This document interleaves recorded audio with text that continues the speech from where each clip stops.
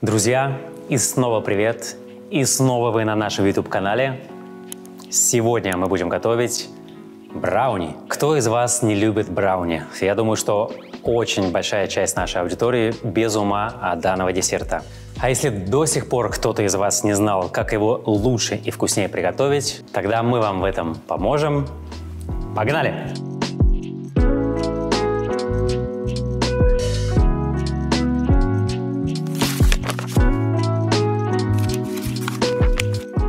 Понадобится яйцо, желток, сахарный песок, соль, орехи, масло сливочное, какао и мука.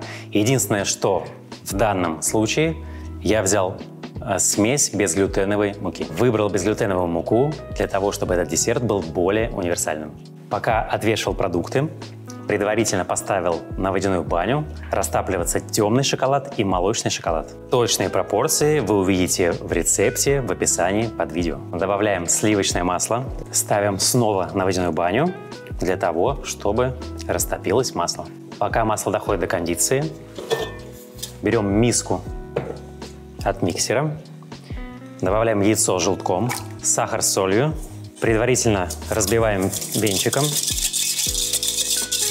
и ставим взбиваться. Можете поставить сразу среднюю скорость.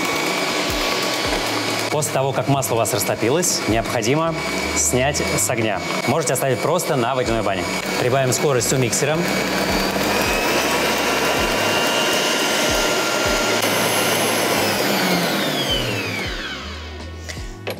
Яйцо достаточно взбилось у нас. Обратите внимание, что яйцо взбиваем для брауни слабее, чем бы вы это сделали для бисквита. Добавляем в шоколад с маслом взбитое яйцо, перемешиваем. Обязательно со дна поднимайте шоколад. Перемешали шоколад с яйцом.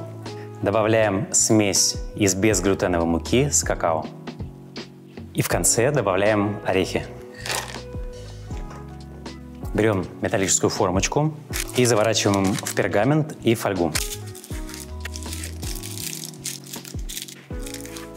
Заливаем брауни.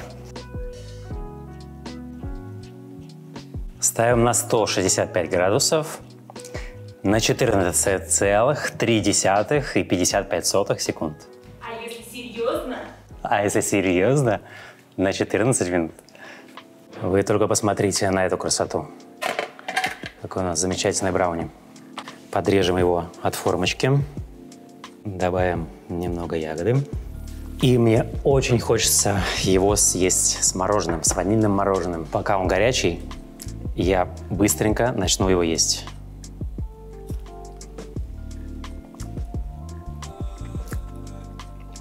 Очень нежный, очень мягкий. Очень хороший насыщенный шоколадный вкус – и с ванильным мороженым, с холодным. Это просто превосходно.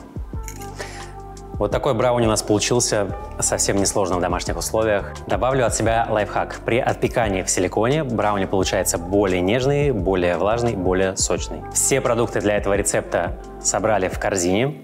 Вы их найдете по этому QR-коду в описании под видео. Пробуйте готовить, повторяйте наш рецепт, обязательно оставляйте свои комментарии и подписывайтесь на наш канал.